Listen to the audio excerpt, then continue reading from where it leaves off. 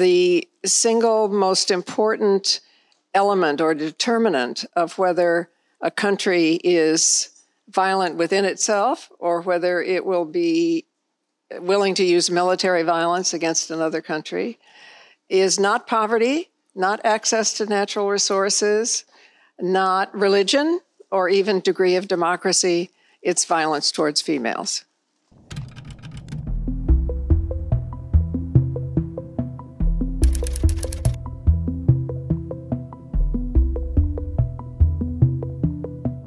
For the first time, there are fewer females on Earth than males because of all the forms of violence cumulatively, whether it is sexualized violence in war zones, sex trafficking, which is obviously, we all know, is bigger than ever before, uh, preference for sons, which has created a daughter deficit and a son surplus in so many parts of the world, uh, female genital mutilation, domestic violence in this country, in my country, which is enormous, you know, has murdered more women by, by their husbands and boyfriends than have ever been uh, killed in any terrorist event, and, and also in the last three wars. This is not a women's issue. Hello.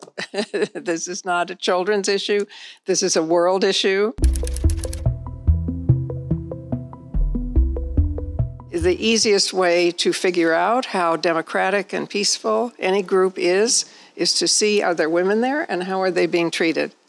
And that should be uh, a measure in all of our foreign policies. Each of us has some part of the knowledge, the solution, the insight, the understanding that will contribute to the whole. Most of all, I hope we listen to each other. You know, there's nothing more important than, than listening to each other.